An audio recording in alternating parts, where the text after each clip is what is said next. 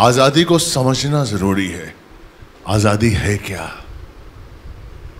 यीशु मसीह ने 2000 साल पहले धरती पर आकर हमें वो आज़ादी दी थी जो अनंत काल का जीवन है। हमें पापों से, श्रापों से मुक्त किया था। हमें डर से मुक्त किया था। हमें असुरक्षा की भावना से मुक्त किया था। आज भले ही लोग आज़ादी मना रहे हैं पिछहत्तरवें साल की। उनके हाथ में भले ही झंडा है, लेकिन उनके उनके अंदर असुरक्षा की भावना है। मेरे भाई, मेरी बहन, यीशु मसीह ने हमें स्वतंत्रता के लिए स्वतंत्र किया है, ताकि हम उस आज़ादी को महसूस कर सकें। यीशु मसीह ने अपना लहू बहाकर अपना बलिदान देकर हमें बताया कि जब हम परीक्षा में होते हैं, उस समय भी हम परमेश्वर की आज़ादी को महसूस करते हैं। चाहे हम किसी भी स्थिति में हों, लेकिन हम महसूस करते हैं कि हम आज़ाद हैं, क्योंकि हमारा छोड़ाने वाला यीशु मसीह इस समय परमेश्वर के दाहिनी ओर है। प्रेज अलॉट तो हम आज़ाद हैं। हम जल्दी से वचन पे जाते हैं। प्रेज अलॉट थोड़ा शॉर्ट में मैं आपको वचन बताऊँगा कि आज़ादी के बारे में क्या है। तो लूका की किताब हम यहाँ पर दो व्यक्तियों के बारे में हम बताएँगे। लूका आठ, चालीस से लेकर पचास के बीच में ये जो वचन है, इसमें से मैं आपको दो व्यक्तियों के बारे में बताऊँगा कि कैसे उनके विश्वास के द्वारा, उन्होंने किस तरीके से विश्वास को रखा है। विश्वास का वरदान, जब हम परमेश्वर के करीब आते हैं तो हमें मिल जाता है। अलॉट लेकिन हम उसका उपयोग कैसे करते हैं? हालेलुया तो यहाँ पर एक बताएँगे, एक है यार नाम का आदमी, जो कि आराधनालय का अधिकारी है। और एक यहाँ पर 12 साल की औरत है, जो 12 साल से जिसका लहू बह रहा था। आप सोचिए, जिसका लहू 12 साल से बह रहा था, वो कितनी कमज़ोर होगी। और बाइबल कहती है कि उसने तमाम डॉक्टर्स को दिखाया, वैद्यों को दिखाया, लेकिन कुछ भी फ़र्क नहीं पड़ा। तब उसने अपने मन में यह कहा कि मैं अगर यीशु मसीह के कपड़ों को भी छू लूँगी तो मैं चंगी हो जाऊँगी। और बाइबल बताती है, वचन कहता है कि जैसे ही वो हज़ारों की भीड़ में विश्वास के संग उसके कपड़ों को छूती है, उसका लहू बंद हो जाता है। सवाल तो यहाँ पर आज हम दो विश्वास की बात करेंगे। देखिए, कलीसिया में जब आप आते हैं ना तो आपका विश्वास बहुत ज़रूरी है। आप कौन सा विश्वास रख, लेके आए हैं? आप कौन से विश्वास के संग अपना मसीह जीवन जी रहे हैं? आपका विश्वास क्या है? लॉर्ड एक वो औरत जिसका विश्वास जो 12 साल से जिसका लहू बह रहा था 12 साल से आप सोचिए, आप बहने हैं, आप औरतें हैं। आप जानती हैं इस अवस्था को। जब लहू बहता है तो ये औरत कम, कमज़ोर हो जाती है। हमने अपनी बच्चियों को देखा है दर्द होता है उनको। मैंने अपनी पत्नी को देखा है। मतलब आई नो कि कितनी प्रॉब्लम्स होती हैं। लेकिन वो औरत 12 साल से उस लहू से परेशान थी। लहू बह रहा था, बह रहा था, बह रहा था। लॉर्ड और जब वो यीशु मसीह के पास आई तो उसने क्या कहा? कि मैं अगर यीशु मसीह के कपड़ों को भी छू लूँगी तो मैं चंगी हो जाऊँगी। Amen? क्या मतलब था उसका कहना? वो क्या कह रही थी? कि मैं जानती हूँ यीशु कौन है। वो क्या कह रही थी? कि मैं जानती हूँ यीशु मसीह सर्वशक्तिमान है। स्वर्ग और धरती का अधिकार यीशु को दिया गया है। वो क्या कह रही थी अपने वचनों में? वो क्या बताने की कोशिश कर रही थी कि मैं जानती हूँ? क्योंकि जब मैं यीशु के पास जाऊँगी तो खाली हाथ नहीं वापस आऊँगी। हम किस विश्वास के संग चर्च में आते हैं कि आज मैं कलीसिया में जा रहा हूँ? आज मैं यीशु मसीह के करीब जा रहा हूँ। और जब मैं जा रहा हूँ अपनी समस्या को लेकर तो मैं खाली हाथ वापस नहीं आऊँगा क्योंकि मैं यीशु मसीह के पास जा रहा हूँ। आपका विश्वास क्या है? आप किस विश्वास के संग यहाँ बैठे हुए हैं? यीशु मसीह का नाम जिस तरीके से आपके साथ है उसी तरीके से उस, उस औरत के साथ था। उसी तरीके से उन चेलों के साथ था। आज आप किस विश्वास के संग बैठे हुए हैं? यहाँ पर एक यार नाम का आदमी है जो कि आराधनालय का अधिकारी था। आज देखिए उससे शुरू करते हैं कि ये कौन सा विश्वास लेकर आया? देखिए आप ध्यान से सुनिए समझिए बढ़िया बेटा। जब यीशु लौटा हाँ। तो लोग उससे आनंद के साथ मिले हाँ। क्योंकि वे सब उसकी बाट जो रहे थे। हाँ। सब उसकी बाट जो रहे थे। Amen. कभी आपने बाट जोई है यीशु की? आप जब सुबह उठते हैं तो क्या उसकी बाट जोते हैं? आप जब अपने जीवन की शुरुआत करते हैं तो आप उसकी बाट जोते हैं? जब आप घर से निकलते हैं, जब आप कहते हैं कि परमेश्वर, मैं धन्यवाद देता हूँ कि तूने मुझे जीवन दिया है। मैं धन्यवाद देता हूँ कि तूने मुझे पापों श्रापों से मुक्त किया है। प्रभु, आज जब मैं घर से निकल रहा हूँ तो तू मेरे साथ रहना। आज जब मैं एक अपनी मीटिंग में जा रहा हूँ तो तू मेरा हाथ पकड़ना। लॉर्ड तू मेरे साथ रहना परमेश्वर, क्योंकि मैं तेरे बिना कुछ भी नहीं हूँ। अगर तू है तो मैं हूँ। लॉर्ड क्या हम बाट जोते हैं? क्या हम बाट जोते हैं, घर से निकलने से पहले कि हम चेक करते हैं कि प्रभु हमारे पास है कि नहीं है? हम जब घर से निकलते हैं तो चेक करते हैं, हमारा बटुआ है, पैसे रख लिए,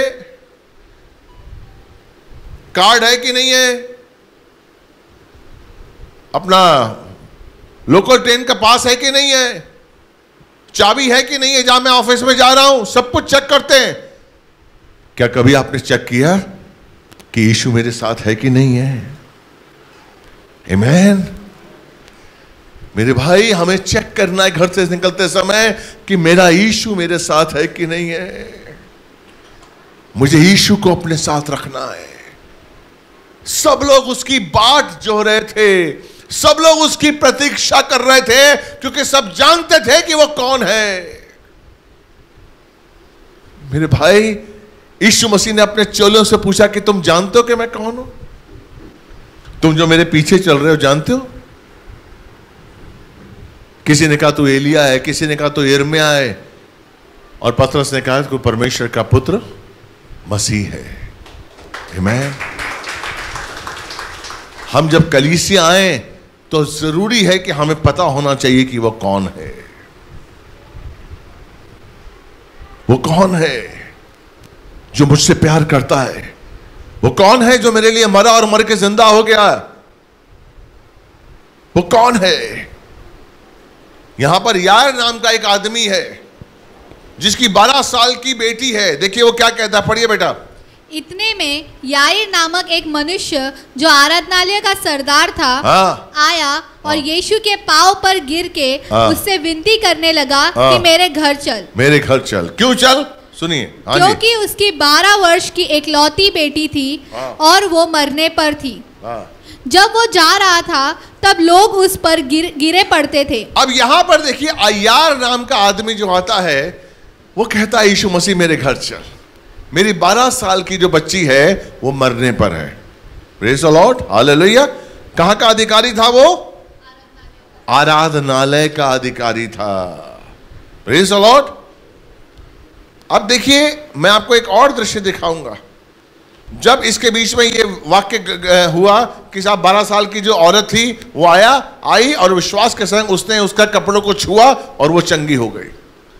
अब उसके बाद जब वो चली गई तब लोग तब जो आराधनालय का अधिकारी था उसके पास एक आदमी आता है और वो क्या कहता है देखिए आप पैंतीस पढ़िए मर, मरकुस पाँच का पैंतीस से पढ़िए। वो ये कह ही रहा था, तभी आराधनालय के अधिकारी के घर से लोगों ने आकर कहा कि अब गुरु को और कष्ट क्यों देते हो? क्योंकि तेरी बेटी तो मर गई है। क्या कहा? हेलो? अब गुरु को कष्ट क्यों देते हो? क्योंकि तेरी बेटी तो मर गई है। इससे पहले हमने क्या देखा? कि यार नाम का अधिकारी जो आराधनालय का सरदार था, वो आया और यीशु के पैरों में गिरगर गिड़गिड़ाने लगा कि मेरी बेटी को चंगा कर दे। और यहाँ पर ये क्या कह रहा है भाई कि यीशु मसीह को कष्ट क्यों दे रहे हो? क्योंकि वो मर गई है। क्योंकि ये नहीं जानते थे कि यीशु मसीह मुर्दों को भी ज़िंदा करता है। आप यीशु मसीह के पास आ रहे हैं और आपको यह नहीं पता कि वो मुर्दों को ज़िंदा करता है। आप किसके पास आ रहे हैं? यीशु मसीह के पास। एक आदमी था जिसके बेटे को मिर्गी आती थी। मिर्गी की बीमारी थी। जब वो आया उसके पास तो आया आदमी और कहता कि साहब, मैंने तेरे चेलों को दिखाया अपने बेटे को, लेकिन तेरे चेले ठीक नहीं कर पाए। लेकिन यदि तू ठीक कर सकता है तो मेरे बेटे को मिर्गी आती है। यीशु मसीह ने क्या कहा? यदि तू कर सकता है विश्वास करने वालों के लिए कुछ भी असंभव नहीं है। हो सकता है आपके जीवन में बहुत सी प्रॉब्लम्स हो। हो सकता है आपके पास ऐसी बीमारी हो। आप ऐसी बीमारी से जूझ रहे हो जो डॉक्टर कहता है कि कभी ठीक नहीं हो सकती है।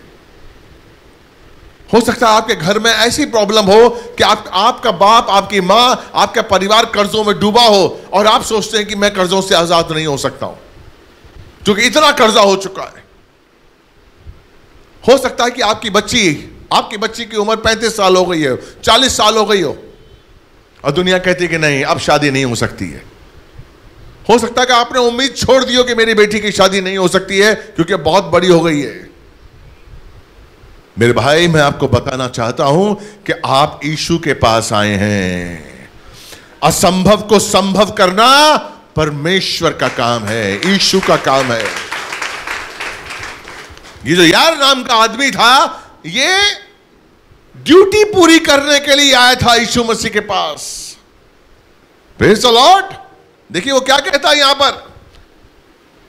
अब जब उसने कहा यार नाम का आदमी आदमी के जो रिश्तेदार थे वो आए और उन्होंने कहा, बेटी मर गई है तो यीशु मसीह ने कहा, नहीं, डरो मत। विश्वास करो क्योंकि वो मरी नहीं है। अब जब यीशु मसीह उसके घर जाते हैं तो देखिए मैं आपको वो दृश्य बताना चाहता हूँ। सैतीस से अगर लेते हैं पाँच का सैतीस। और उसने पतरस और याकूब और याकूब के भाई यहुना को छोड़ अन्य किसी को अपने साथ आने न दिया। प्रेज लॉर्ड आगे अड़तीस। आराधनालय के सरदार के घर में पहुंचकर उसने लोगों को बहुत रोते और चिल्लाते देखा। आराधनालय की जब मैं घर में पहुँचा तो बहुत लोग चिल्ला रहे थे। उस समय आपको बताऊँ मैं। उस समय ऐसे गैंग हुआ करते थे जिनका काम था कि जिसके घर में मौत होती है, वहाँ जाके रोना। उनको पैसा दिया जाता था रोने का। ऐसे लोग थे वहाँ पर, ऐसी उनकी टोली थी कि जिसके यहाँ मर जाता था, वो बुलाता था रोने वालों को, ताकि वो रोते रहे। हेलो? ग्रुप को। हाँ बुलाता था ताकि वो रोए, क्योंकि वो मर गया है। तो वहाँ पर, यानी कि यार नाम के इंसान ने, आदमी ने उस टोली को पहले से बुला के रखा था। क्योंकि तुम रो, क्योंकि मेरी बेटी मर गई है। यानी कि यार नाम के आदमी ने पहले से यकीन कर लिया था कि ये मर जाएगी। हेलो, आप लोग समझ रहे हैं? आप लोग समझ रहे हैं? यार नाम के इंसान ने पहले से ही तय कर लिया था कि मेरी बेटी मर गई है, अभी ड्यूटी निभाने के लिए यीशु मसीह के पास आया।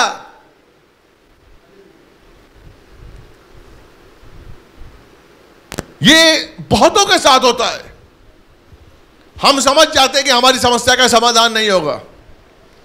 हम जान लेते हैं कि हमारी हमारी बीमारी नहीं निकलेगी। हम जानते हैं कि हमारे हमारे बच्चे ठीक नहीं होंगे। हम जान लेते हैं अंदर से। फिर भी हम यीशु मसीह की बात आते हैं। चलो चलो। चर्च भी जाके देख लेते हैं। अभी चर्च है और किसी ने कहा जाने के लिए तो देख लेते हैं। हम जानते हैं कि हमारा काम नहीं होगा। हम जानते हैं कि हमारा आ, आ, हमारे कर्जों से हम माफ़ नहीं होंगे। बहुत से लोग हैं ऐसे। यार नाम का जो अधिकारी था वो जानता था। इसलिए उसने रोने वालों की टोली बना ली ग्रुप बना लिया मंगा लिया कि वो रो रहे हैं। और जब यीशु मसीह वहाँ पहुँचा तो वो लोग रो रहे थे। यानी कि वो मर गई है लड़की तो वो रो रहे थे विलाप कर रहे थे। आगे बढ़िए बेटा। तब उसने भीतर जाकर उनसे कहा हाँ। तुम क्यों हल्ला मचाते और रोते हो? हाँ। लड़की मरी नहीं परंतु सो रही है। हाँ। क्या हुआ? क्या कह रहे थे वो लोग? आगे। वे उसकी हँसी करने लगे। वो लोग हंसने लगे। दुखी आदमी हंसने लगेगा? क्योंकि उनका काम था हंसना, रोना ड्यूटी थी। उनकी ड्यूटी थी। उनको रोने के लिए बोला जाए इमीडिएट रोना शुरू कर देंगे। आँसू बहा बहा के, दहाड़ दहाड़ के रोएँगे कि आपको लगेगा कि पता नहीं क्या हो गया है। तो उनकी ड्यूटी थी। जैसे ही उसको यीशु मसीह ने कहा कि ये तो सो रही है, ये मरी नहीं है, वो लोग हंसने लगे। हालेलुया। आगे बढ़िए बेटा। परंतु उसने सबको निकालकर लड़की के माता पिता और अपने साथियों के साथ भीतर भीतर जहाँ लड़की पड़ी थी गया। हाँ। और लड़की का हाथ पकड़कर उससे कहा तलिलता कुमी जिसका अर्थ है हे लड़की मैं तुझसे कहता हूँ उठ। Amen. यीशु मसीह किसको लेकर गया अंदर? सब चेलों को लेकर नहीं गया? औरों को निकाल दिया उसने। हेलो ये विश्वास है। जब तक आप विश्वास के संग नहीं जिएँगे, तब तक आपका काम नहीं होगा। जब तक आप विश्वास के संग नहीं जिएँगे, तब तक आप आशीष नहीं पाएँगे। आपका विश्वास करना बहुत ज़रूरी है। प्रेज लॉर्ड मैं आपको क्या बताना चाहता हूँ? मैं आपको यह बताना चाहता हूँ, मेरे भाई, मेरी बहन, क्योंकि रीति रिवाजों की वजह से हमारा विश्वास कमज़ोर हो जाता है। वो रीति रिवाजों में फंसा हुआ था यार नाम का इंसान। यार नाम का इंसान रीति रिवाजों में फंसा हुआ था, वो आज़ाद नहीं था। वो समाज के रीति रिवाजों में बंधा हुआ था कि समाज कहता है कि अगर बेटी बीमार, कि अगर आपकी बेटी मरने पर है तो भैया बुला लो, रोने वालों को बुलाओ, इनको बुलाओ, उनको बुलाओ, क्योंकि तुम्हारे घर में मौत होने वाली है। समाज के रीति रिवाज हैं।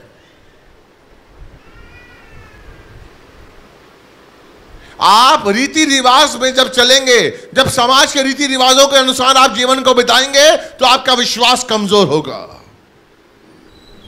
यही वो औरत थी, जिसको लहू बहता था। आज भी कई ऐसी जातियाँ हैं, कई ऐसे ग्रुप्स हैं। मैं जानता हूँ कि उनके घर में अगर किसी औरत को चार दिन जो लहू बहता है, उसको अशुद्ध समझते हैं, उसको किचन में जाने नहीं देते हैं।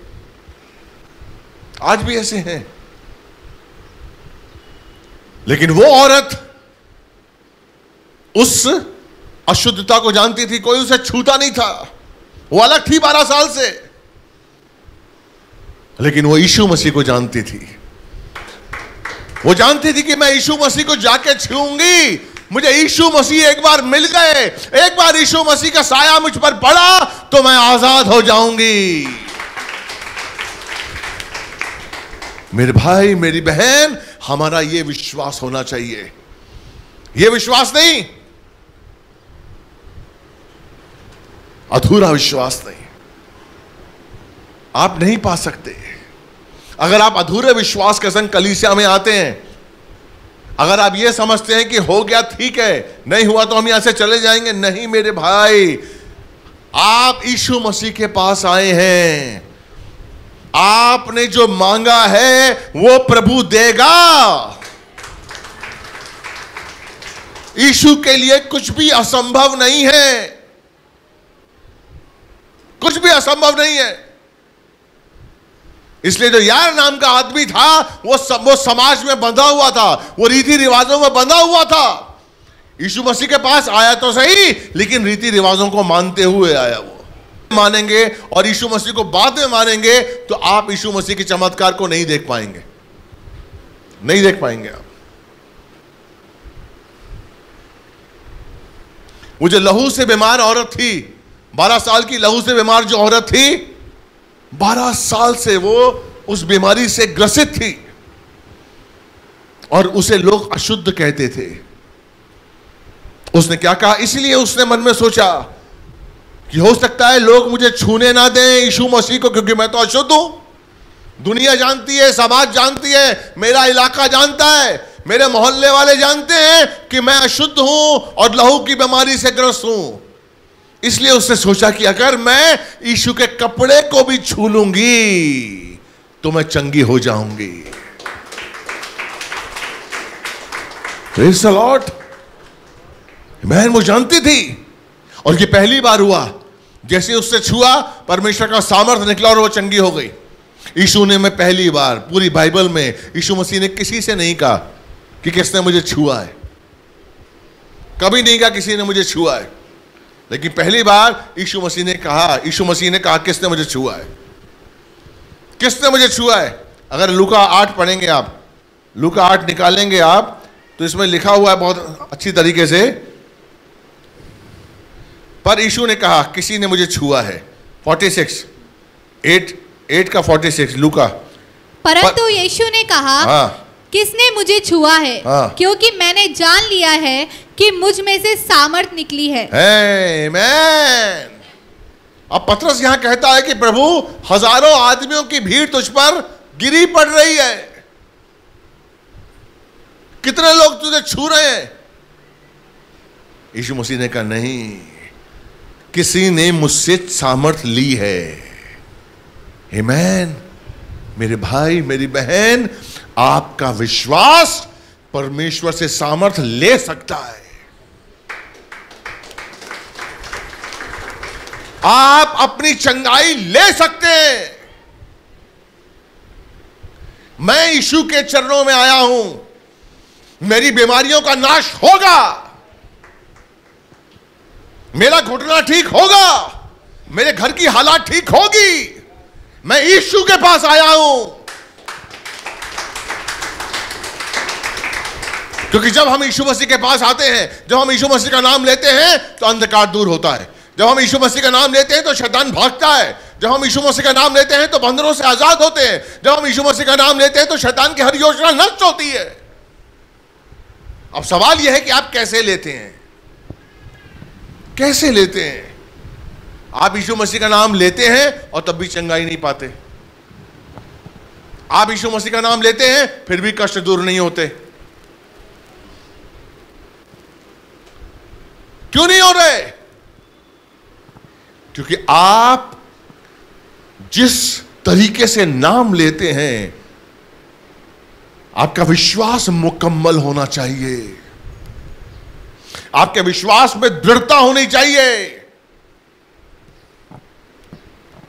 आपके विश्वास में वो सामर्थ होना चाहिए। कि मैं यीशु मसीह के नाम से आया हूँ। मैंने यीशु मसीह को अपना जीवन दिया है। कोई भी ताकत शैतान की रोक नहीं सकती है मुझे। कोई भी शैतान खड़ा नहीं हो सकता मेरे सामने। मेरे पास यीशु मसीह है। कभी आपने इस तरह सोचा है?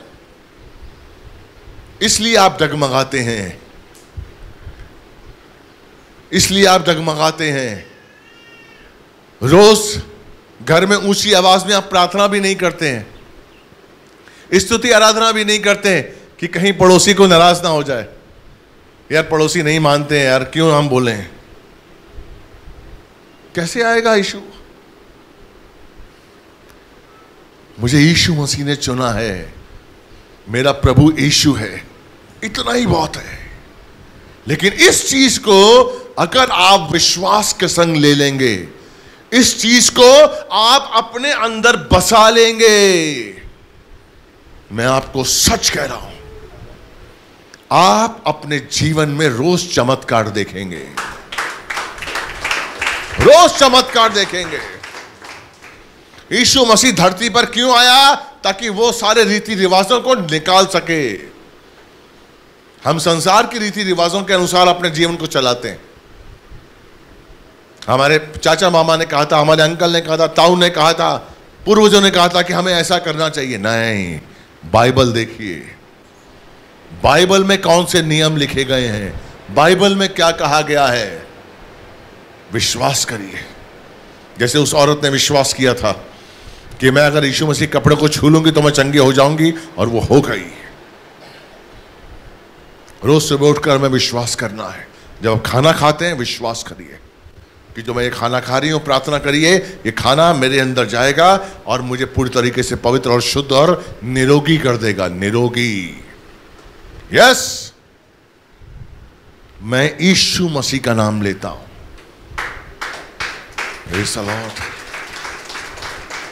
मेरी बहन, बहुत से संकट में आप घूमते हैं, बहुत से संकट में आप होंगे, बहुत सी प्रॉब्लम्स आपके बीच में होंगी, लेकिन मैं आज आपको उत्साहित करना चाहता हूँ। मैं आज आपको सच्चाई बताना चाहता हूँ कि सिर्फ़ और सिर्फ़ यीशु मसीह का नाम आपके जीवन के लिए बहुत है। आप विश्वास के संग लीजिए। विश्वास के संग उस नाम को अपने साथ रखिए। विश्वास के संग उस अनुसार चलिए जो प्रभु ने कहा है। आपको मैं सच कह रहा हूँ, आप अपने जीवन में अद्भुत आशीषों की बारिश होते हुए देखेंगे। कोई आपको रोक नहीं सकता है।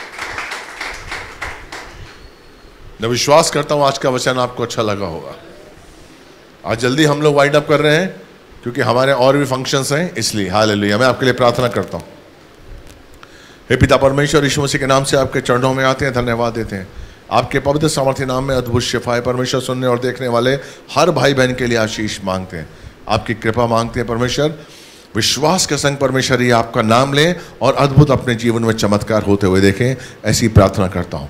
यीशु मसीह के नाम से मांगते हैं। प्रार्थना आपने सुनी, कबूल की। हम सब कहेंगे, ज़ोर से तालियाँ बजाइए पिता परमेश्वर के लिए, पवित्र आत्मा के लिए, यीशु मसीह के लिए कोई बोलेगा हाले लोहिया ज़ोर से बोली हाले लोहिया प्रभु आपसे बहुत प्यार करता है। आप करते हैं?